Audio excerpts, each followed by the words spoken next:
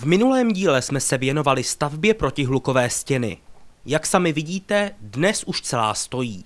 My se ale dneska zaměříme na to, co se děje na staveništi, tedy v místech, kam má veřejnost normálně vstup zakázán.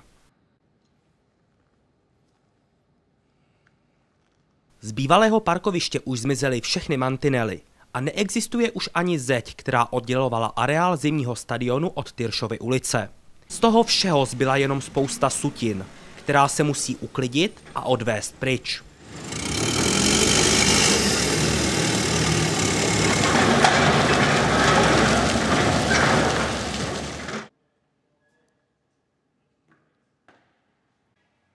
Pilně se pracuje i na tribunách zimního stadionu. V místech, kde obvykle stával kotel, teď vyrůstají zábrany.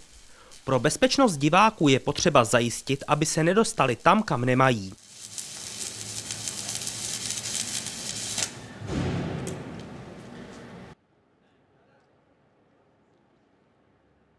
Venku zatím pokračují bourací práce.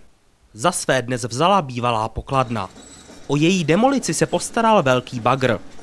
Ještě předtím ale dělníci se zbíječkou proskoumali, jak je vlastně pokladna připojená k budově.